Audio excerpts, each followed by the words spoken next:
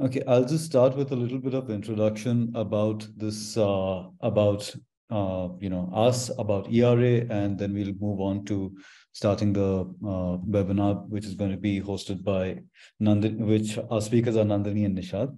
So uh, I'll just give a brief introduction about what we are doing, and then we'll carry on, and people can carry on joining in.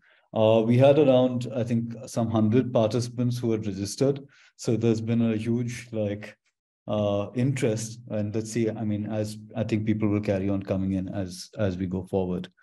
So uh, I'll start with introducing myself. Uh, I'm Arjun. I work as a project manager with the Ecological Restoration Alliance. Uh, when we talk about the alliance, it is an informal network, uh, you know, of individuals, organizations, and groups who are coming together to foster this knowledge around ecological restoration of natural ecosystems within India. So uh, the goal of the alliance is to create a knowledge base and become a hub for uh, you know for anyone looking for anything related to restoration, and then that is where you can actually find that. So moving on from that, I mean, the idea of this talk is on citizenship and campaigning, which is not real. It's not, and the reason uh, we were thinking about this as the starting in the first series of uh, talks that we have in this webinar is primarily because, you know, even when we think about restoration, there has to be this first layer of having a protected space, having that protected biodiversity. And how do you kind of I think a lot of research has already shown that uh, irrespective of irrespective of how much we uh, restore, the native old growth forest has it's very difficult to ever recover back to the native old growth forest. And that is why it becomes important to protect the natural heritage that we do have and the biodiversity that we do have. Uh, so that is why it was important that we have this as the first kind of a talk. And uh, I'll, I'll introduce the speakers now. So with us are Nandini Velho and Nishant Saldanha from Amche Mollem. So uh, Nandini, uh, Nandini works on the human uh, dimension of wildlife management as well as understanding uh, rainforest dynamics in tropical forests. She works closely with citizens, local forest managers, policymakers, and is engaged with on-ground outreach activities, including healthcare and logistical supports of frontline forest staff, conservation education, citizenship efforts, and writing in the popular medium. Uh, Nishant is an animation filmmaker, independent comic uh, comics artist known for his character Mr. Good Guy, and one of the Amche uh, art directors. His work has been featured in uh, Best American Comics in 2019, and he's passionate about photography, Goa, and Bob Dylan. Right. So these are going to be uh, so Nishant and uh, Nandini, really a warm welcome to you, and thank you so much for joining us for this first talk. And uh, I'm going to now transfer. I'm going to now give it over to Nandini to uh, uh, to present her screen and maybe go over the topic. Uh, just, I think maybe we can have all the questions coming in on the chat and we take it uh, towards the end. Does that work for you as well, Nandini, or do would yes. you? Yeah, Nishant? Yeah, I think that works well for me. Sure, Nishant. that's great. Okay, great. So I think I'll just give it over to you now, Nandini, and you can uh, look forward to hearing from you. Thanks, Arjun, um, and thank you um, to everybody at the Eco, uh, Eco Restoration Alliance, uh, because this presentation has really allowed us um, to think about the alliance that we ourselves have formed with respect to Amche Mollem. Um, and it's given us an opportunity in some, self, uh, some sense to think about ourselves um, and really how we got here. Um, so I don't know if you can you all see my screen? Yes. Is it full screen?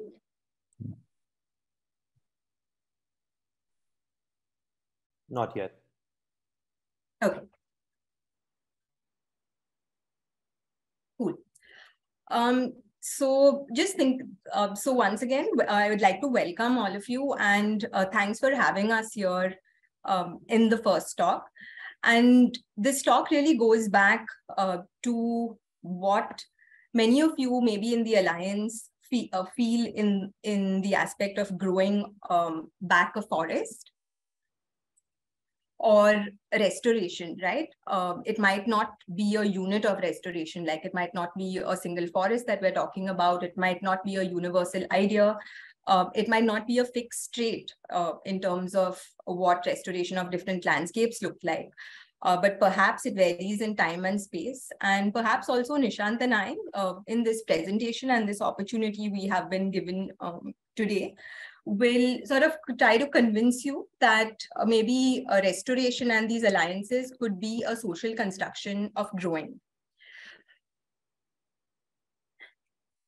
Um, so this talk is dedicated one to the active citizenry that exists uh, in Goa and the other states of, of, of India for forests, for wildlife and our environment uh, whether it is in Goa with respect to the Amche Mollem campaign or the Save uh, Mhadei um, collective that is coming together, or some of the recent uh, findings that we have uh, found with respect to the Etalin microhydel project or the Hing Patkai. Um, many people say, let's not sing to the choir. Um, I was one who would perhaps say that before. Uh, but in these times, I do feel that the choir needs to be uplifted and thanked um, especially in the times uh, that we live in.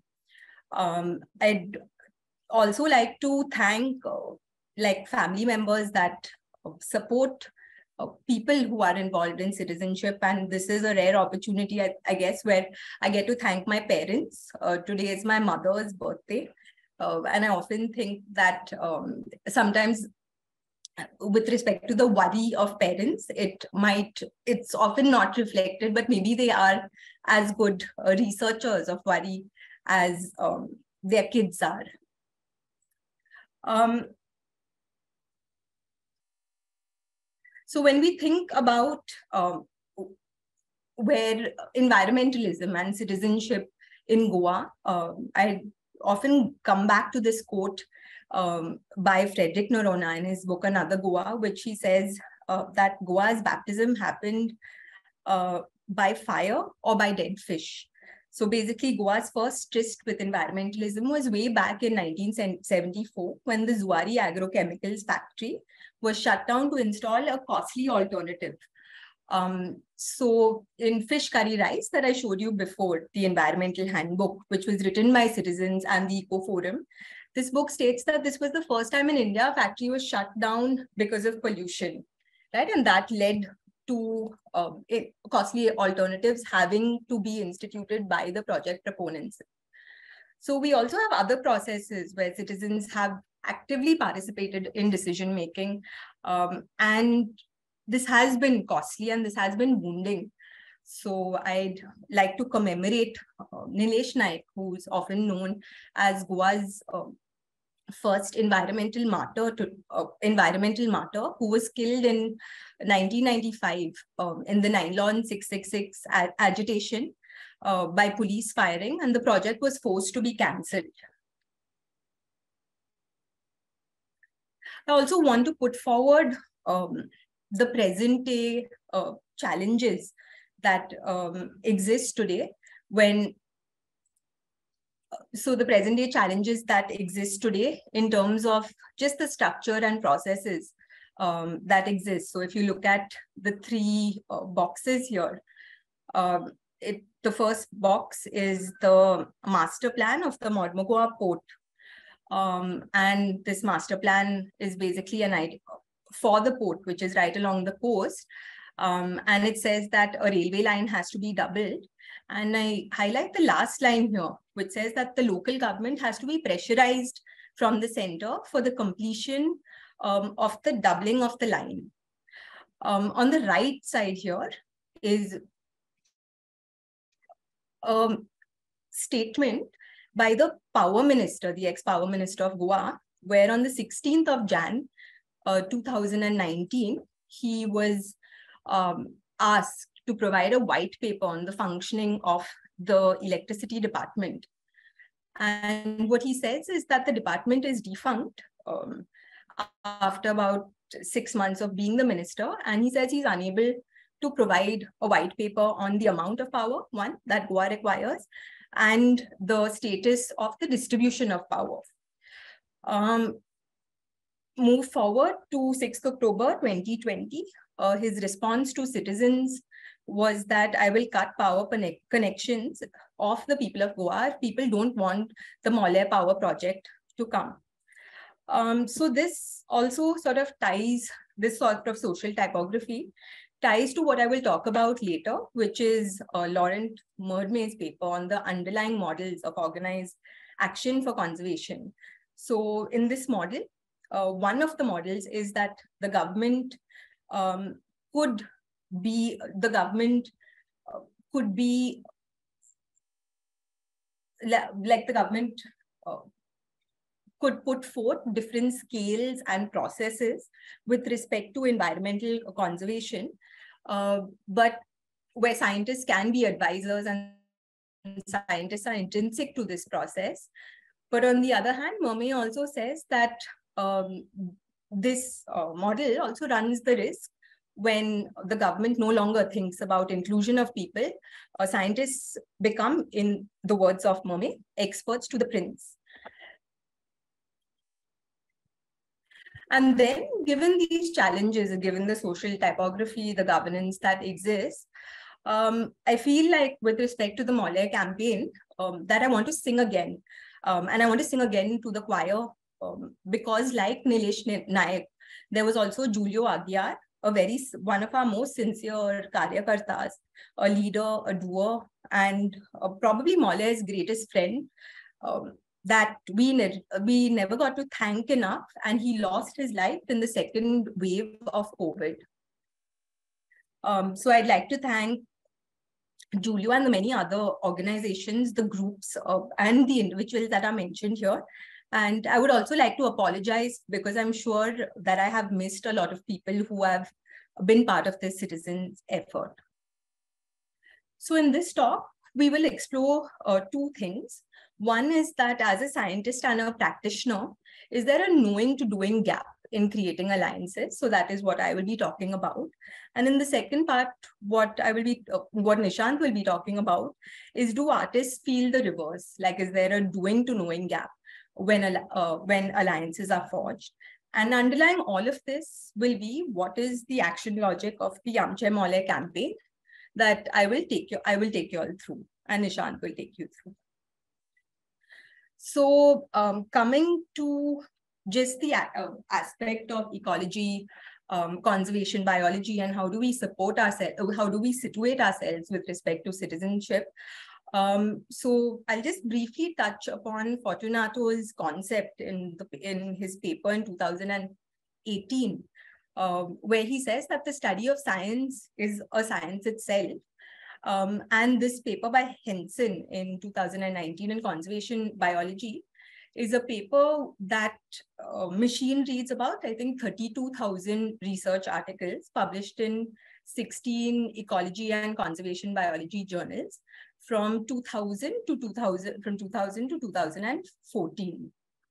Um, so what we find here is between conservation biology and ecology, that based on these clouds, you can see that um, ecology and conservation biology are pretty divergent and now occupy uh, very distinct niches. So now this is a pretty heavy graph, but I want to basically um, point your attention to the topic space that has been explored in uh, ecological journals here and more conservation oriented uh, journals here. And if you look at the most frequent topics in the conservation space, um, they mostly tie to this green dot here, which is conservation and society. Um, so this pattern probably re uh, results from the increasing recognition that um, social, economic, and political factors are critical um, for successful conservation and the way we think about conservation uh, from 2000 to 2014 or probably a longer period of time.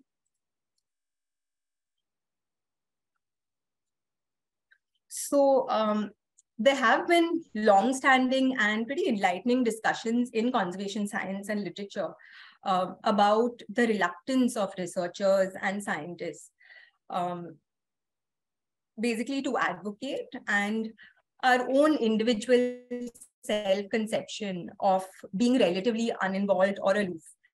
Um, something that used to honestly also frustrate me as well. And based on my some of my earlier writings in EPW, um, the sort of strong language that was used in some of those papers um, came from that source. Um, but I recently also came across a paper by uh, Zoe Nyssa, and I, I've put the title here because I pretty, uh, it's a very interesting paper and I really like the title, Why Scientists Succeed, Yet Their Organizations Splinter. So the historical um, and social network analyses of policy advocacy and conservation in the journal Environmental Science and Policy. So what Zoe Nyssa did was she that uh, was that she did a larger ethnographic project where she conducted a social network analysis of present day scientists. Um, so she interviewed uh, 153 attendees at the International Congress, uh, the International Conservation Biology Congress, um, about their, the resulting affiliations um, between individual scientists, uh, the affiliations that individual scientists hold. And if you look at what this cloud is here, right? Um, it actually shows that of these 153 scientists, and I would argue that this is true for a lot of us, is that individual scientists hold a significant num number of active of, uh, uh, affiliations with organizations involved in issues of advocacy. So you could also take this concept forward in terms of individual scientists and the way in which um, they write in the popular medium, uh, the way in which they work with local communities in India, or um, the sort of politics that they advocate of their time. So what she found was that uh, the mean number of affiliations per respondent was about 10. So this level of advo um, this level of advocacy uh, that we're seeing right now um, in the, the paper states that it has been much higher compared to what has been estimated in the literature uh, previously. So this suggests um, that individual researchers are finding ways to informally or formally jump across science policy gaps at a sub-organizational level. Um, so if there's anyone who leads organizations or institutions here, um, this is sort of a good reminder that as we grow in terms of citizenry, voluntary efforts or institutions that or organizations that we want to grow, um, we need to be pluralistic in terms of being um, acknowledging the varying affiliation networks that we have. Um, and there's a very different picture of conservation work uh, that is evolving today, or maybe it's always been like that, and now it's a function of detection.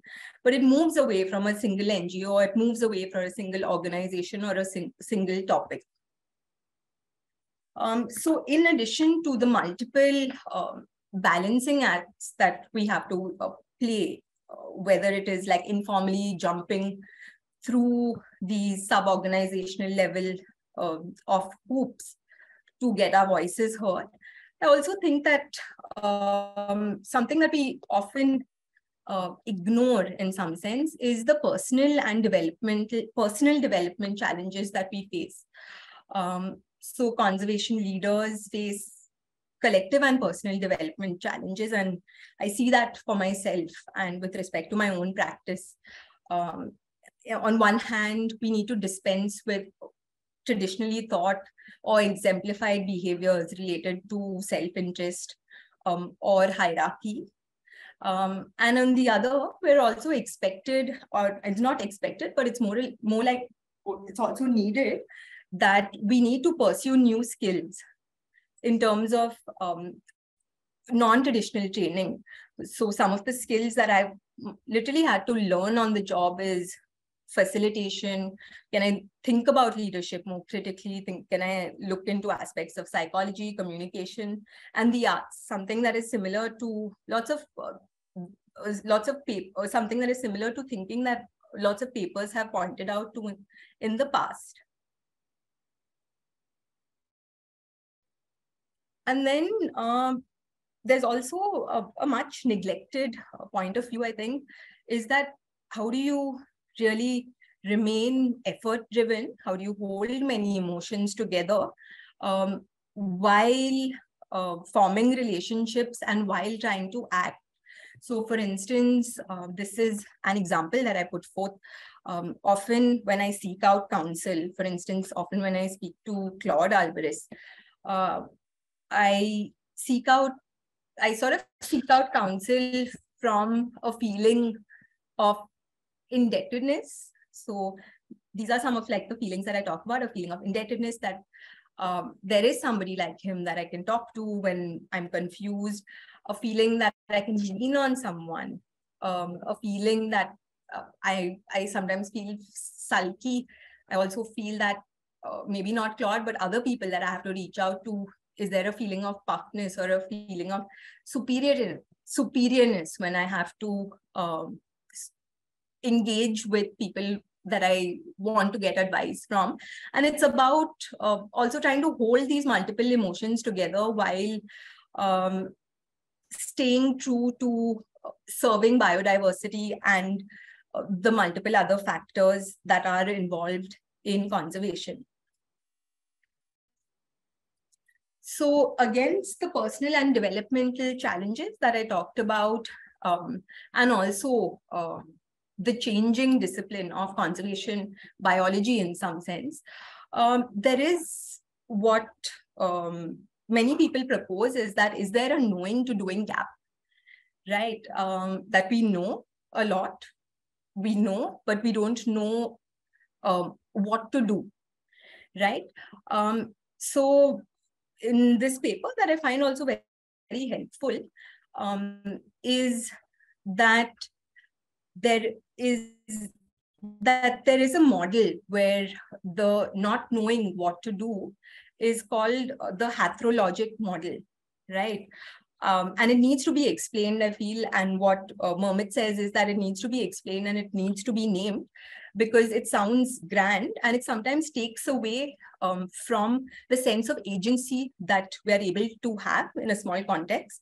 And it sort of uh, not naming it also exacerbates the feeling of powerlessness, right? Um, and some of the reasonings of uh, the hathrological model is that often we see statements like humanity should or one could in what they call um, scientists and policymakers or politicians making these whomsoever it may uh, whomsoever it may be recommended to sort of uh, recommendations. So basically um, in, in the paper and basically in uh, some of the thinkings that we have put forth, um, there is a need where conservation needs to enter and we need to enter the fray where we try to get our heads around who are the actors, what are structural links and power dynamics that shape biodiversity outcomes and can be investigated further. Many can be done on a case-to-case approach by maybe uh, figuring out specific fields, um, fields of um, or situations that um, we can act on in a, pra a, practical manner, or maybe there could be approaches to improve the pathways of action.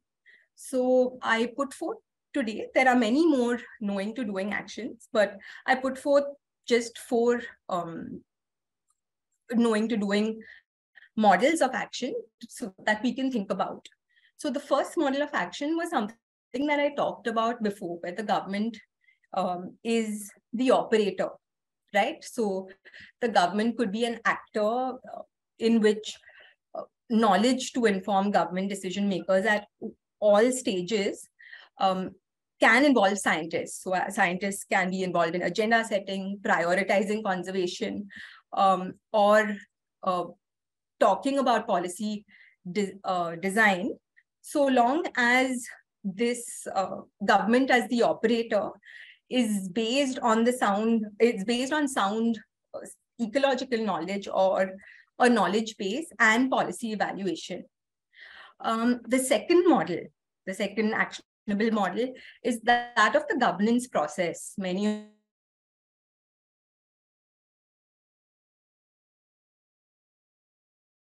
of you will be already familiar with this, influential, uh, sorry, where the community is influential and where rules between resource users themselves is a crux for managing um, a common pool of resources. I will come to this third model.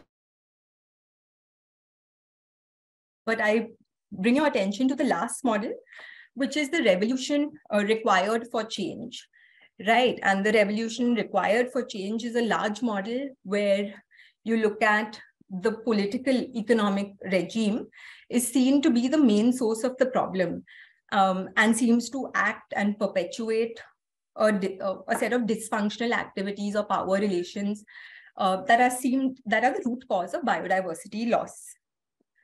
Right? Um, so irrespective of the model we choose whether it's the government as the operator the governance process the minority actor for change that i will talk about a bit later or the revolution required for change um, there are some critical questions uh, that we need to ask and think about that are organizational or dynamic. Um, and I'm putting this forth because, you know, I really feel that the, of the Restoration Alliance that you are putting forth is um, a wonderful opportunity where you can plan, right? Uh, in some sense, we never got the opportunity to um, or we got the opportunity uh, as we were going in the Mollem model. But I think it's a wonderful opportunity to plan about the organizational and uh, dynamic relations with respect to a model of organizing. So, for instance, in there are about seven key questions that could be asked when you think about citizenship or any alliance that you form. Um, who are you expecting to act right? Uh, to produce the changes that you re recommend, um, who gets to define the issues, who is expected to lead, um, who is accountable to whom, what is the place of specialization of um, conservation scientists, NGOs, right? And these three considerations here really focus on um, problem identification and problem solving. So for instance, what or who causes the biodiversity problem that conservation action intends to address? What course of action could effectively address these biodiversity uh, inducing action, degradation um, and inducing actions?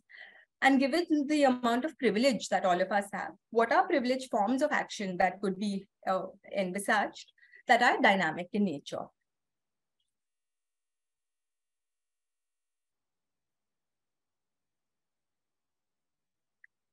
So coming to the model that I would I said um, we will talk about later is that um, the Amche Mollem model is not the revolution for all model, but it is the Zellick model um, of, of organization that we followed and what I, what we call and what I've called as the organized, organized citizenship behavior.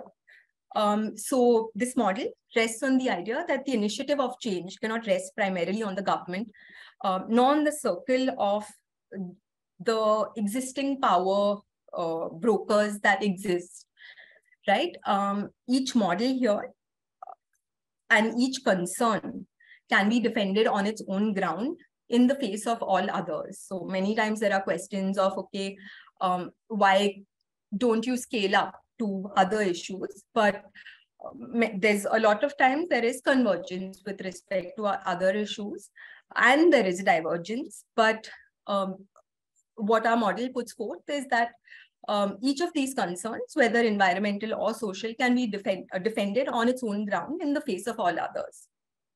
Um,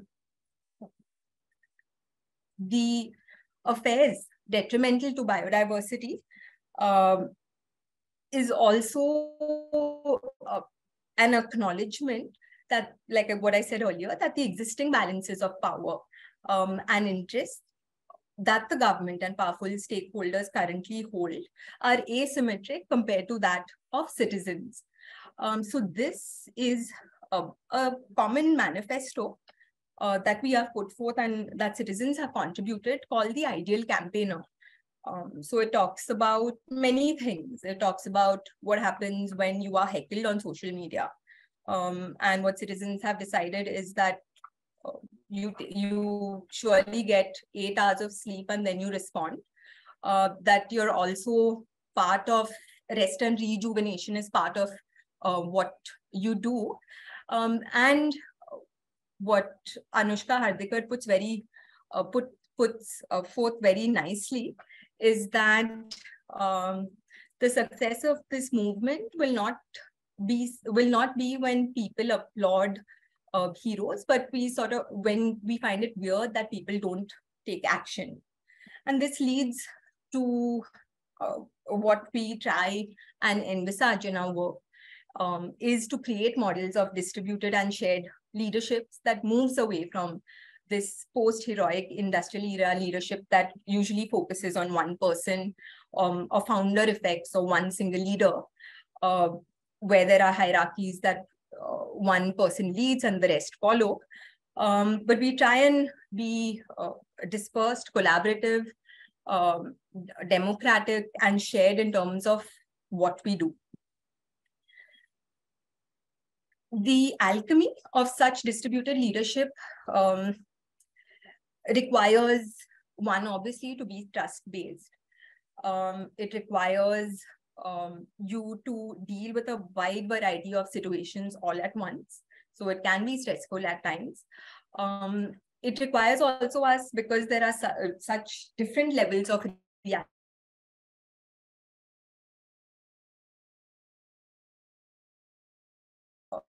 Not only integration, but an acknowledgement that there are different uh, levels of reality. Um, and it requires um, us to reflect basis. So when we're not when we're not resting, it reflect it requires us to reflect on much more than it maybe requires um, other groups of people coming together um, to reflect on because we sort of have to think on the job. Um, given the risks of um, activities being scattered or organizational efforts um, losing out, right? And uh, what the Zellick model fo focuses on is that we focus on um, specific actors. Uh, there are certain techniques uh, that, or there are certain uh, processes that need to be better. And there are certain projects that, or, or there are certain issues that we take up. Um, so that does mean that we are, um, as much as most people like to think that they're working systemically, that we are not working systemically. When we do have a discrete periods of time during which uh, there is policy during which there is policy making chances for instance if uh, in the environment and Mollem could get into any manifestos of parties. We do work on those time sensitive uh, policy periods um, and uh, put forth the best that we can do during those times. Um, so in some sense, the ambition that we have, uh, which is a pretty small ambition, is inversely proportional um, to the amount of enrollment. So we say we want our ambition to be small. So the enrollment that we have of people um, is high. Sorry, and I just want to draw your attention here to the right part, the right of my screen, which is that uh, the Zellick model and this distributed shared uh, leadership, one, in some cases has been found to be rare. Um, there's also a risk of scattering uh, of managerial and organizational efforts. Um, people involved in this model also, um, there is a good chance of losing touch of your with respect to your primary uh, vocation, whether you're in an organization. And the Zellick model uh, is what people say is an extreme rarity in alchemists.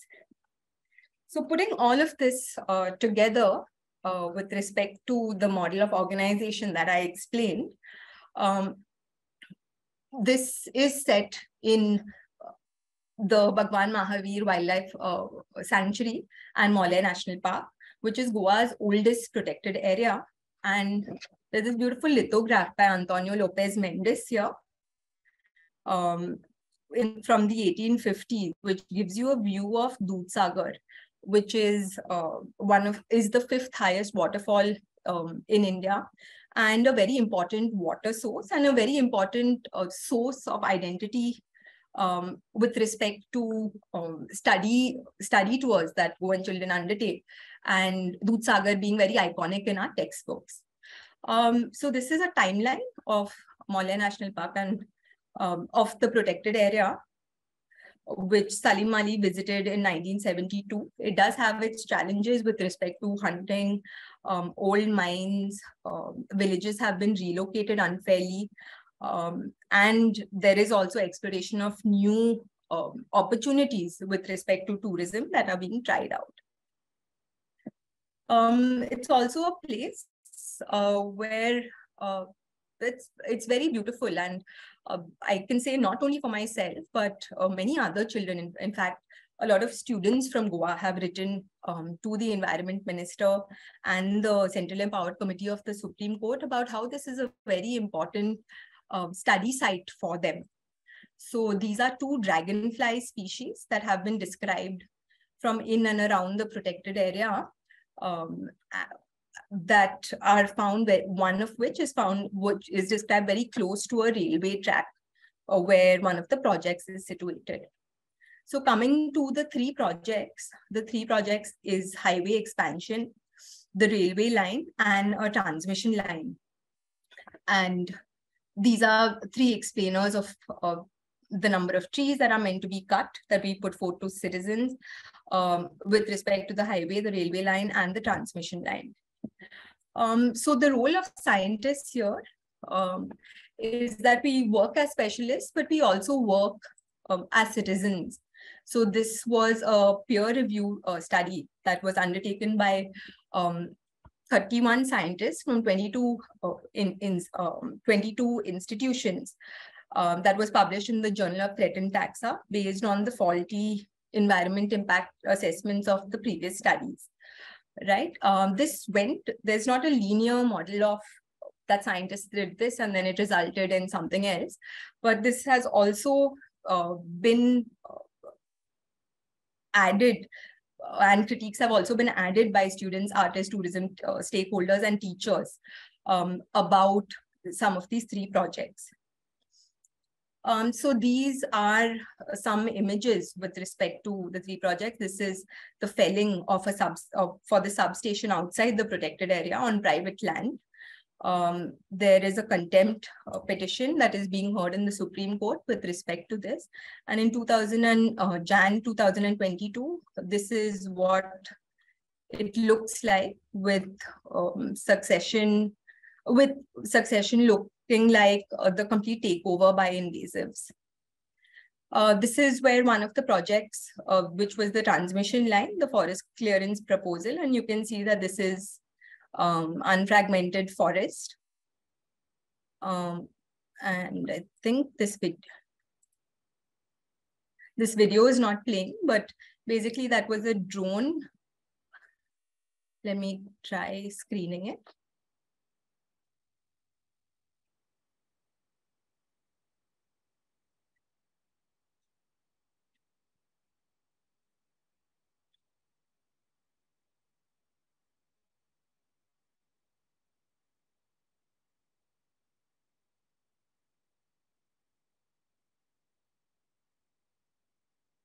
So this is a drone shot of the undisturbed forest and the Central Empowered Committee um, of the Supreme Court uh, said that this alignment and this, align this alignment should not go through and uh, that the existing power line should be uh, an alignment that should be followed. So some of that forest will not uh, be fragmented further.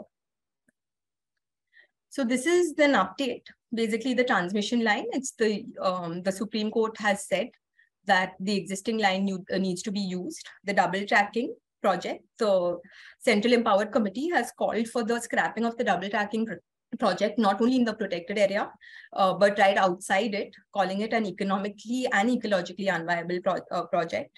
The Supreme Court scrapped the permission for the national uh, by the National Board for Wildlife, but said that the RVNL can reapply. And the Wildlife Institute of India has started recruitment uh, for a new EIA that will cost about 4.5 crores. Um, and in parallel, in the out, on the outside, just as of a week ago, um, environmental clearance has been given, stage two environmental clearance has been given um, for double tracking outside the protected area. With respect to road widening, um, there, uh, the Central Empowered Committee of the Supreme Court uh, said that the road could be widened with in, um, increased me measures for mitigation. This has not been heard by the Supreme Court yet. Um, so I will pass this on to Nishant now um, to talk about the second part of um, how do we the know uh, the doing to knowing gap. Uh, hi everyone. Um, I just wanted to say before I uh, continue the presentation, uh, thank you to Nandini and to ERA for having me on um, to represent so many people who make a part of this campaign, what it is, and what keeps us together going on uh, two and a half years later. I want to uh, say that I'm an art director on the campaign. Um, and so, with that, I'd like to specially thank uh, I think two members who are here, Swabu Kohli and Trisha Dias, because um, uh, I work with them every single day, uh, and together we uh, form uh, the group of um, thinkers and doers, but maybe more doers, as Nandini was also implying, um, that um, uh, works on what I will be talking about um, going forward. Um, I wanted to talk about um, um, these three areas where we felt like uh, when we were trying to understand how could we translate this idea, it was actually very new and very interesting for us to think of the way we function as alliances in this way, because I think on some level, uh, it didn't come together at the start that way. It was how art functions uh, is to actually work on observation and then respond perhaps with gut and sometimes uh, with a lot of faith, and constantly then uh, reorient uh, live, like and in the moment when uh, the situation presents itself. And uh, perhaps that, not being a scientist, uh, but and being an artist, perhaps that is not how it works in science, but in art, I feel like um, we are able to do that, and that's why the sort of um, combination of science and art and the way in which we work complement each other and kind of support each other almost like uh, in a sort of form of balancing forces. So I'm going to talk first about the alliances between art and science in the uh, in the Amche Mollem campaign because uh, I've come to feel like it is almost like the DNA of the campaign. And um, right now, uh, here is like perhaps like our shining example, uh, a very large scale singular work. And when I say large scale, I just mean that is very uh, detailed, but actually it's also a digital work, um, uh, which is used to describe fragmentation of a forest. And uh, basically, it was a seven page research paper written by three scientists and an architect that an artist, Zai Borkar, took on and um, returned actually in a single image. And I think this is the best way in which um, um, we can talk about like what art does and the power of what images do. Uh, if we could move to the next slide.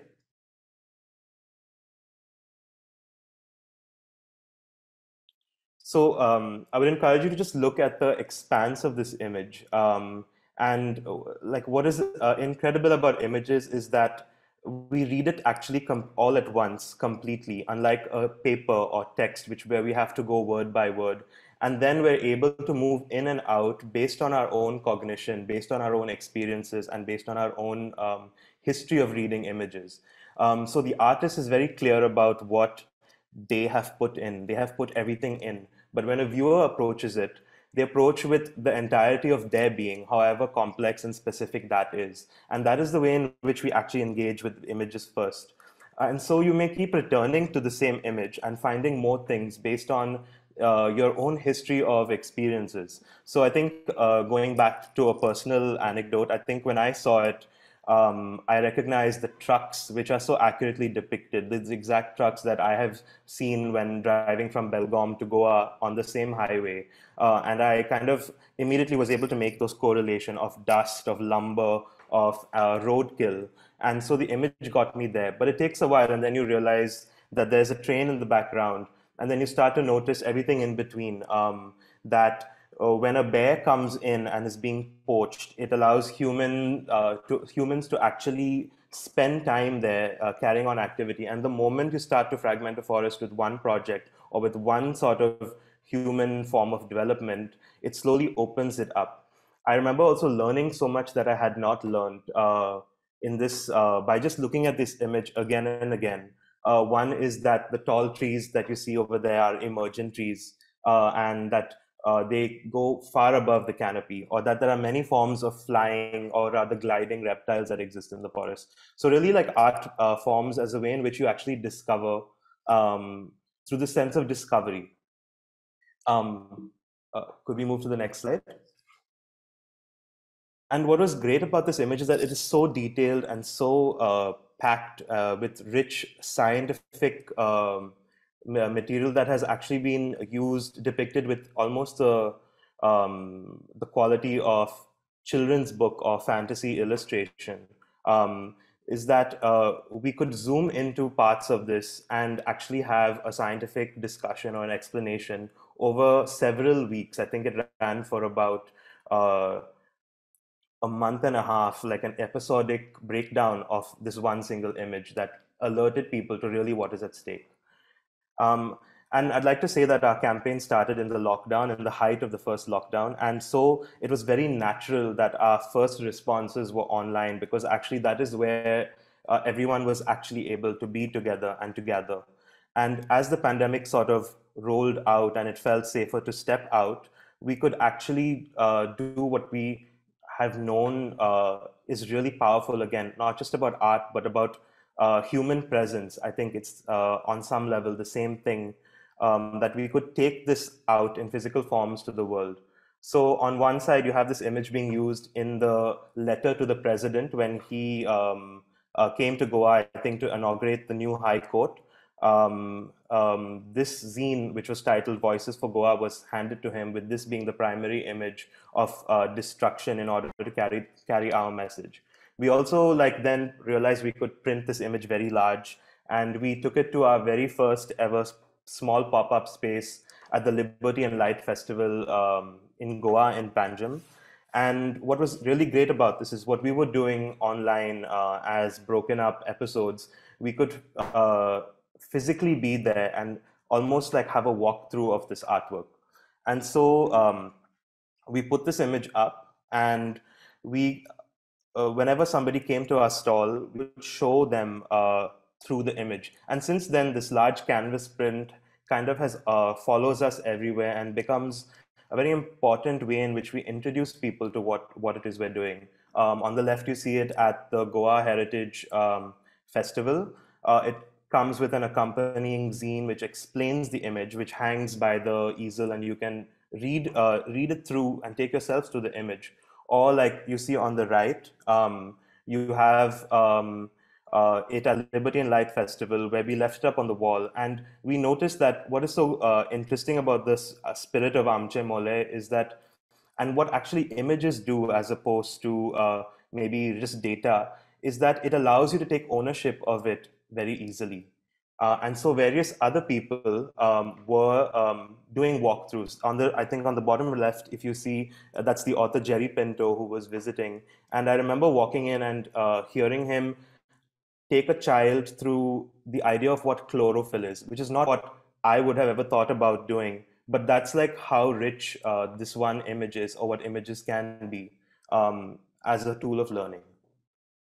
So um, with that, um, I think this is where um, not being a scientist and uh, being an artist I find like a lot of our everyday work when it's not breaking down complex information, uh, scientific, um, is using art as a bridge basically between society uh, and the idea of the governance of society and sort of enabling citizens to be very much part of that.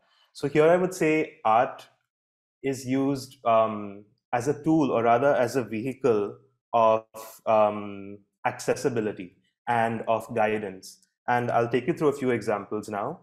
Um, um if you go to the next slide.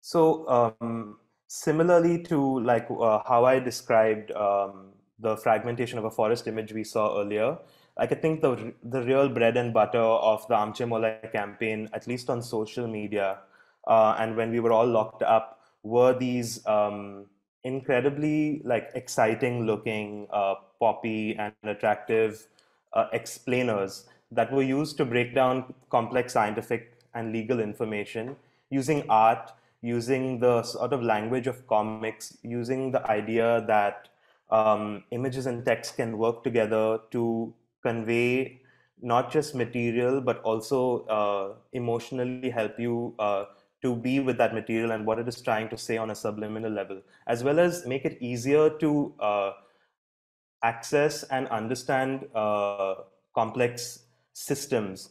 Uh, and uh, we would use this regularly to break down and explain uh, high court notices, uh, court updates, where we were at the campaign. I would encourage you to read some of these. These are the titles of the explainers. Um, facts about power, what an environmental impact assessment is, um, um, explaining just to everyone uh, on our campaign. And then we had a large following on Instagram, around maybe 14,000 people. It helped us to explain what the Central Empowered Committee of the Supreme Court is, which was such a ve- very vital journey uh, for a whole year, actually, uh, with the campaign. We, we were able to talk about it by uh, using the, these uh, sort of image and text combinations. Um, if we go to the next slide,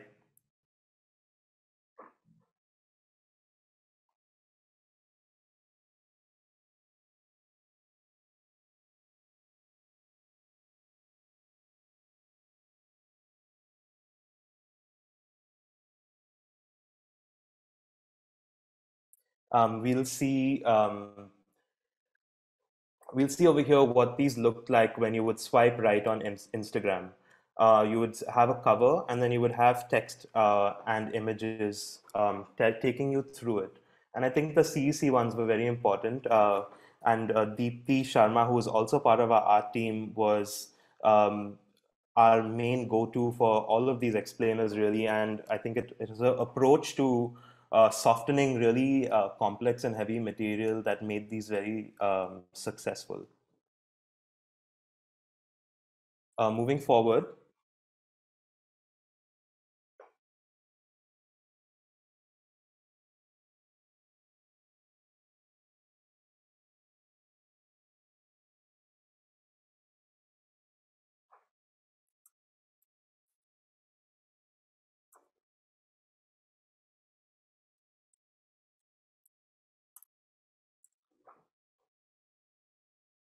Nandini? Yeah, Nishant, I moved forward. Is that visible? Oh, for some, I'm sorry. For some reason, there's a lag and I'm not able to see the next slide. Okay, I see it now. Okay. So, um, while I very much wanted to uh, talk about uh, the digital work that the campaign uh, was very instrumental in producing in the beginning uh, part, I think it would be um, almost um, equally important to talk about the sort of multiplicity of forms uh, that the campaign allows uh, art to exist in and in very much a real way and as a real presence on the ground. And i think this ties also back to the very like um, rich and very beloved heritage of self-expression uh, that goans have celebrated for years like actually every indian uh, celebrates if you really look wherever you go uh, in in uh, festivals in local um, rituals, in uh, political um, action, there's this uh, history of being out, being present, uh, and making something. And so um, it is not only um, that we can ascribe this maybe to Western history of protest, but that very much like this spirit of being on the ground and making something of yourself uh, an expression, but speaking for the larger community is very much Goan and very much Indian. Um, and uh, here you see art just simply made by anyone. It doesn't require you to be an artist or a thinker or a designer. It's really like what I think um, I remember early on talking about uh, when we would discuss in our campaigns about active citizenship. It just means that um, whatever you can do and whatever you do, you can bring that to the campaign, and that there's no one prescribed way uh, to lend your voice. So there have been people uh, who who dressed up in their traditional costume and danced on the railway tracks while 5,000 people gathered there with candles. And it is a form of celebration, as a form of um, as a form of resilience and as a form of speaking out. There's also, of course, the chart papers. There's this work by Ashish Phaldesai, a young artist who worked with uh, local tribal communities in Kotigao to make masks and make these artworks. And he posed with them, speaking about what um, uh, infrastructure in the forest does to communities who reside there. Um, so I would like to just talk about how important and how um, um how these works show that art is actually uh, not an object but a verb. And I think that's a, a, very important way to look at how art can be actionable. And um, going forward, So uh, to kind of sum up uh, this idea of political engagement to, uh, to art, through art, I'd like to just go uh, quickly through this one case study of ours, which we had where um, uh, it was called Flood Your MLA. And in, I think, the second year, July 2021, Goa had uh, had an unprecedented rainfall. And I think rivers overflowed and dams were opened. And the hinterland of Goa suffered very severe flooding very quickly that destroyed many people's homes, livelihoods, crops, vegetation. One of the most iconic images, if uh, any of you all remember, was that a train going through Dudhsagar was thrown off the tracks and sunk into the mud. And we realized at this moment, while Nandini was talking about ambition being small and our narrative being very uh, close to um, we are here to talk about the three projects within the national park and talk about why it's not good to fragment a forest. We realized at this moment it presented a way to frame the same story within the larger issue of climate change, a very much uh, vital way of um, uh, looking at this if we wanted to look at the bigger picture while remaining focused on the area that we had set out to do. And so because it was timed with the floods were timed with legislative assembly sessions. Um, we had already been tracking again using visuals and explaining what the campaign is really good at doing and has chosen to do regularly is to really break down the systems of governance and make it very easy for anyone. If I have to be really honest, I really didn't know exactly what an MLA does until I had to like work on the campaign and see exactly what an MLA's role is and how important it is to what happens uh, with policy in the state. And so the tracking of legislative assembly sessions would happen, and we would um, record questions that brought up that were brought up about Mollem, starred and unstarred questions. This is a year before the floods.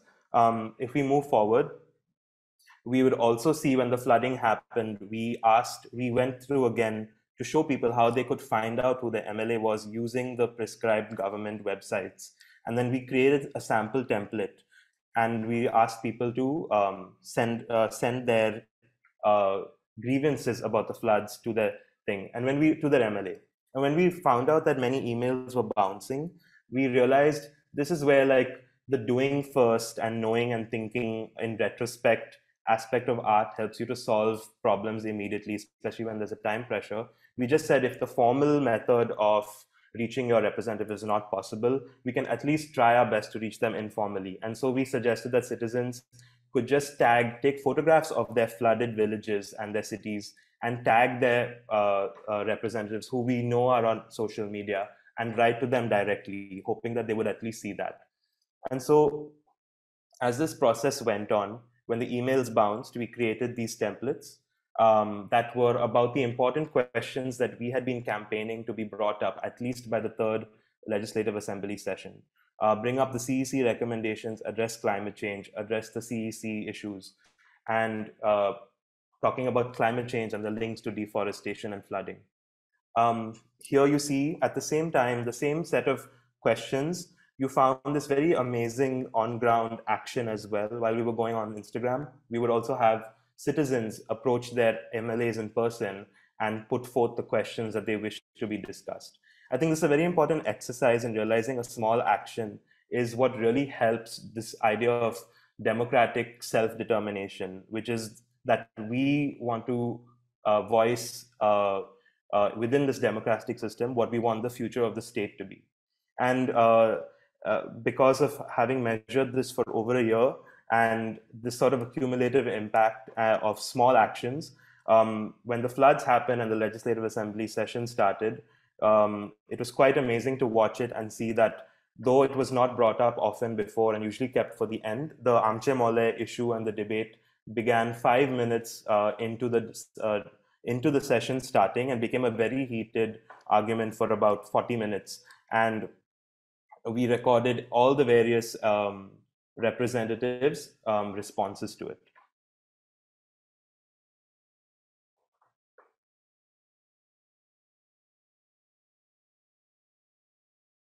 So this brings me uh, to the final thing, and I think it's also touching on what uh, Nandini was talking about.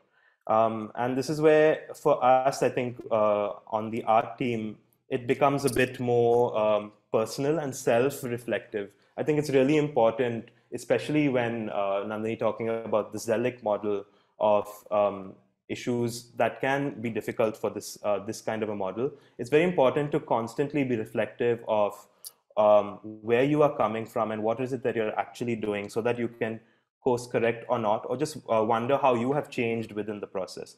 So um, we were very lucky to have been part of the Serendipity Arts Festival this year. And we decided to use that to work with the scientists on our group and use that opportunity to talk about the environmental impact assessments and how they are so often uh, flawed in India because of unscientific methods of conducting them and how that is often used at the detriment of India's forests. And we decided to highlight precisely because uh, the sense, sense that the railways were again seeking to conduct a new EIA despite the Supreme Court, Court ruling. Um, we wanted to bring out what was flawed about the first three uh, first three impact assessments and talk about why doing another impact assessment would not necessarily be a solution. So we focused on um, very fascinating species uh, that were left out of the enti- assessments entirely. Like there was not no mention of them, uh, and we called the project, uh, uh, which was a public interactive uh, art installation, the case of the missing species, and we worked with very scientific information researched and written by the scientists on our group and we uh, created information in the form of booklets and address books talking about these species and what was what was interesting about them, what was so unique about them, and also what was ironic. For example, the gaur, which you saw a picture of earlier on these empty boards, um, um, to imply almost that they are cut out or left out, is uh, an animal which is the state animal of Goa and has the highest protection in the country, the same as that of uh, the national animal, the tiger. Yet it, uh, there was no mention of the gaur at all in one of the environmental impact assessments for the three projects. Um, so it was us pointing out to the sort of great irony of it and uh, wondering why and in whose benefit is uh, such information left out. So if you came to the installation, you would find many postcards, each with a different species that was missing from the EIA. You would find an address book and you would find scientific data showing you what the environmental impact states or data showing you what the environmental impact states and juxtaposed against actual scientific findings in the forests and in the national park. And it was a question of you read the science and decide um, what you want uh, to say about it on these postcards. And then you can look at the address book and write to any of the representatives at the national or the state level um, or, or the wildlife board um, uh, who is who was conducting the, uh, the wildlife institute was conducting the EI, uh, impact assessment and um, it was amazing i would like to say that because we were positioned at municipal gardens which is known as Garcia de Orta there was a vast section of society from every sort of strata that anyway occupies the park that passes to the park that would come up to our installation read through it find out about it and um, write a postcard. And it really was this idea of reinforcing to us uh, these small actions where like nandini said the ambition is small but the enrollment is large. I think over six days that we were there we had uh, almost 850 900 individual postcards written and many many more people who spent a lot of time over there. Um, you could come to the table stamp it and hang your postcard up. Uh, moving forward.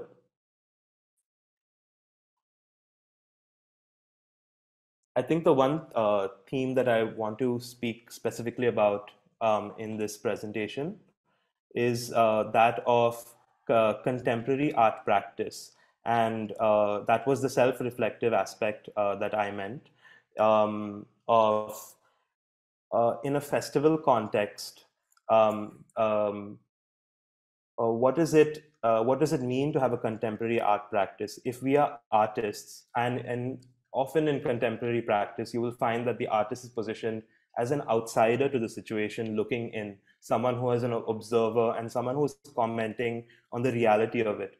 But I find that the Amche Mollem campaign really teaches us and helps us know that artists can have their practice and make their commentary, but you can also be very much part of the inside, shaping the world as a citizen and uh, uh, being part of uh, determining how you would like to uh, live and how society would like to live um, in the future. And um, I would like to end on that note and pass it back to Nandini. So I'd just like to um, sum up and with some internal and collective ponderings for the group. Um, so one is uh, through what we've uh, tried to position today and what we'd like to uh, what we shared today is what are alliances and models of organizing meant to do. Can we ask ourselves those questions? Um, in many cases what are some of the implications of a mediated outcome? Uh, with respect to the site uh, how do we understand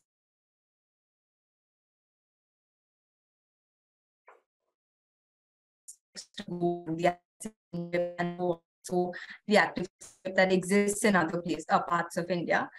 Um, and really, uh, at the outset of uh, starting this alliance and all the work that uh, you all have been doing, uh, we have had the opportunity of thinking about conflict resolution, but you all have the opportunity of preempting organizing. Um, and we've just sort of given you all a glimpse today of what is the effort that goes into making things happen. Um, also, some of the questions that we ourselves have pondered upon in the campaign, and there might be some shared learning, is how can leadership and how can environmental governance be also looked at in terms of moral and ecological issues and not just strategic and technical implications with respect uh, to engagement with respect to uh, with respect to forest conservation. Um, and finally, uh, it's whether it's ERA or whether it's Mollem, uh, do the spaces that we have created and then such, such spaces of organized citizenship uh, behaviors have creative potentials or restorative potentials of maybe alliances that were broken in the past uh, that are bigger uh, than the singularity of our own practice and the singularity of who we are.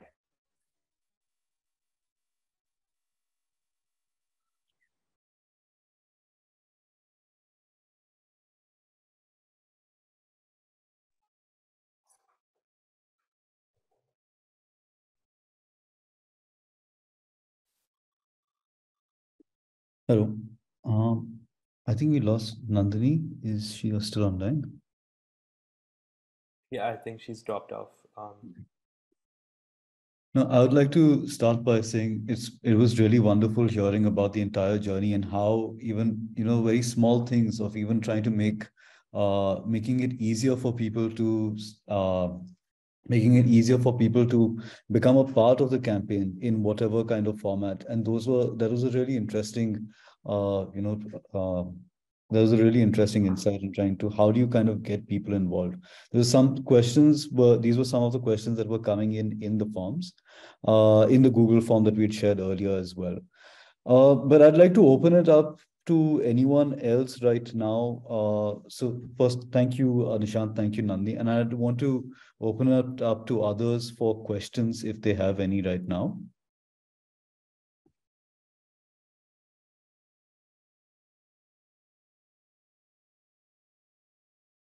Okay, while people are starting, I, I do have a few questions already. And uh, is it okay if we take, I know we're already over time, but is it okay if we take another five ten minutes to just have some questions? Of course. Of course. So uh, I want I want to understand more around the Zelig model and distributed leadership. I mean, I'm just curious as to how that works and how does everyone come in alignment to what is going on? How does how does that happen for you? Um, so uh, as far as exactly what the Zelig model is about, I think that's more Nandini's forte. Um, and I think that's very interesting because I, I, have to be honest. I've only I only heard that word today when we were revising the uh, thing, uh, revising the presentation. Mm. But uh, when she was describing it, I understood that um, our campaign very much resembles it. And I would say, from my experience, um, what really has worked for us is like uh, as nandini said like the ambition is small. Of course it's not actually as small as we state it is because it is on some level i think against some of the most sort of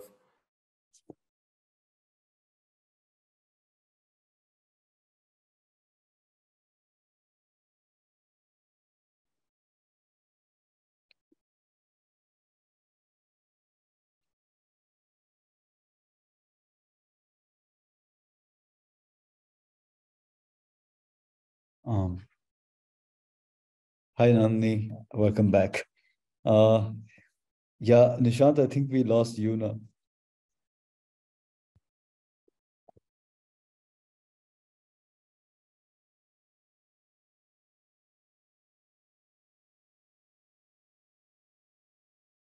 Okay. Nishant, we lost you in the middle. Oh, I'm sorry about that.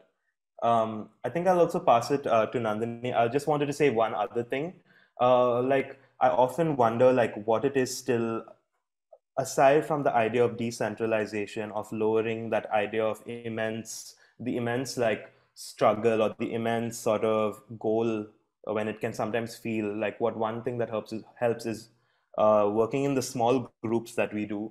But the other thing i think that uh, i think has kept everyone going and i think it's a very undervalued uh, uh, maybe maybe seen as a sentiment but i think it just must be like something as like blunt as just love for goa or you know love for the environment and maybe the fear that uh, it can be lost. And i think uh, if you talk to anyone on the campaign that it'll uh, this will come up as a very obvious uh, reason to keep doing it. So in terms of like uh, the Zelig model, I don't know, Nandini, um, if you had anything more to add to that how does um, responsibility get dispersed? Um, yeah, I think the model of having many leaders doing many different things and the capacity to encourage leadership is something that is something that I find uh, very invigorating about the campaign and something that keeps all of us going. So there's not one uh, central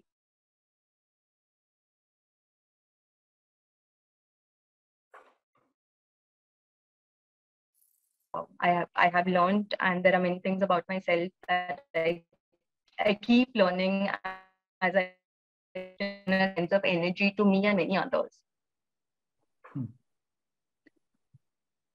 But uh, how is it that, you know, in this model, for example, I mean, you're saying that there are small groups, but how is it that it all comes and aligns together in the direction that you have to take it, uh, that it has to take? Or is that also very open? Um, it's a happy to actually uh, take this conversation forward and uh, onboard you all to some campaign and showing you all some of the nuts and of what it is. You're, I'm very happy if any of you want to email me um, and get a more deeper understanding because it's sort of difficult to explain how it um, all comes together. Uh, mm. But I would also say that uh, it involves a lot of time uh, that each of, each of us um, gives uh, that is connected to citizenship and the sense of uh, um, volunteership. Uh, and there is a lot of planning that uh, goes on behind what we do, which makes it seem organic on one hand, but on the other, there is quite a lot of structure um, that is happening in the background. Okay, thank you. Uh, any other questions from anyone?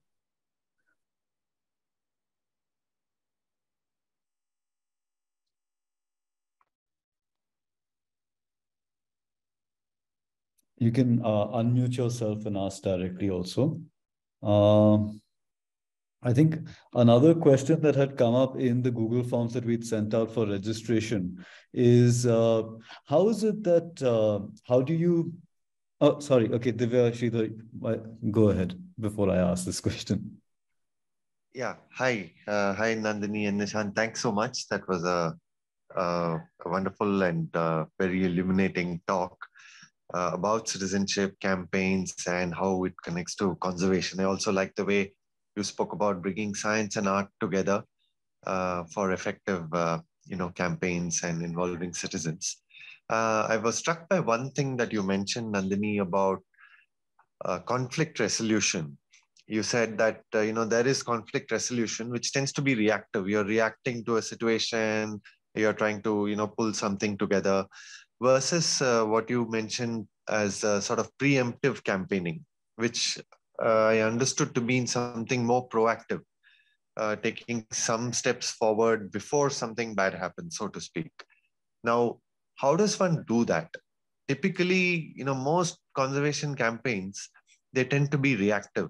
Something's going wrong, so we get together and we often we are just opposing something that's coming forward uh, or which is out there. Now, if you want to build a proactive campaign, uh, there may often not be a single, you know, sort of a target. There may not be a particular immediacy or urgency. It has to um, even that sense of urgency and immediacy may have to be uh, dealt uh, or built for uh, for a proactive campaign to work.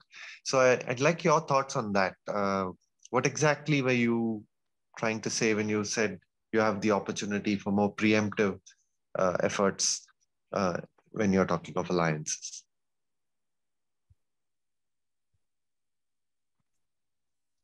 Um, so it sort of ties into your um, your question slash comment about uh, there is a great opportunity of uh, thinking about organized citizenship behaviors with respect to a pre uh, like a proactive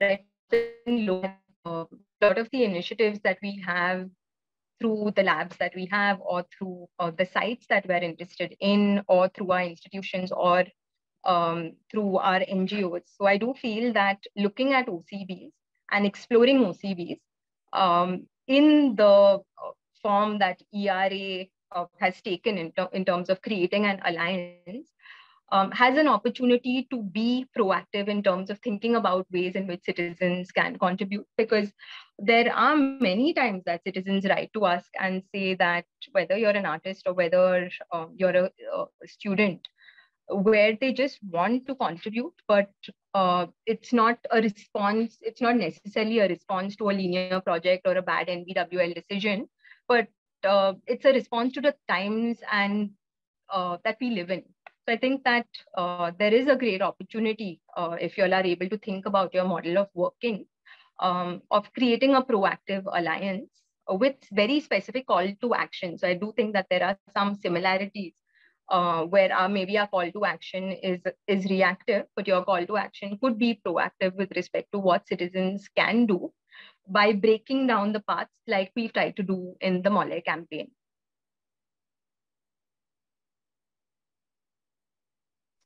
Thanks, thanks, uh, Nandini. Certainly something to think about. Yeah, thank you.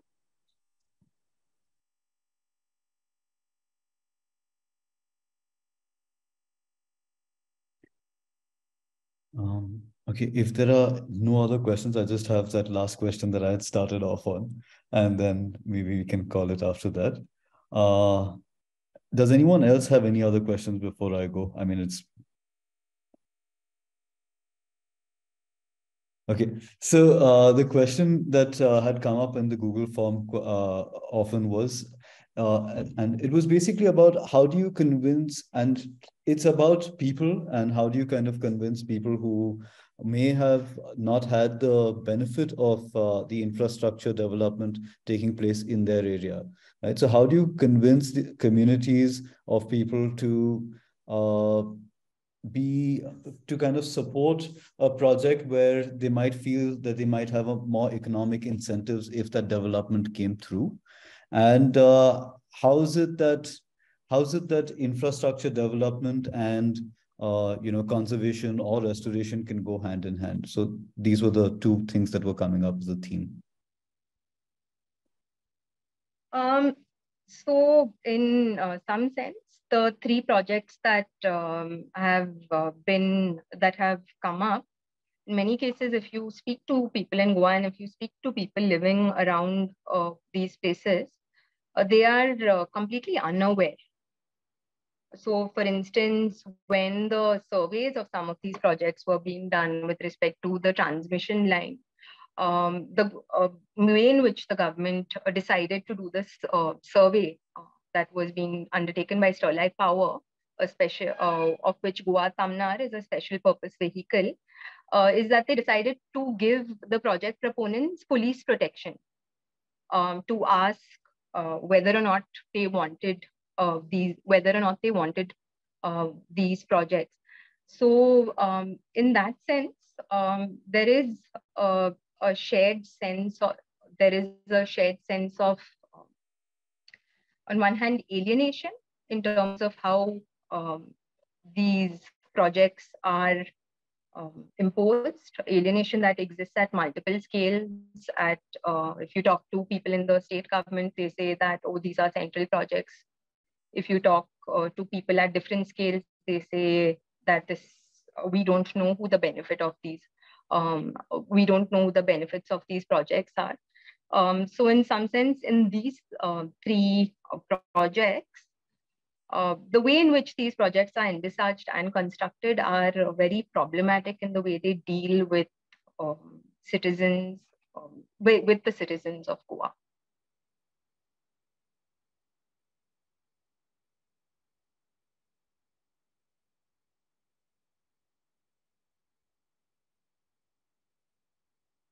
I think we've gone way over time also. And uh, I would really like to thank you, uh, both Nishant and Nandi, for coming here and representing the views of Amche Mollem, because I, like you said, there are so many people who are a part of this and who have been uh, part of this journey. And it's not just, um, yeah.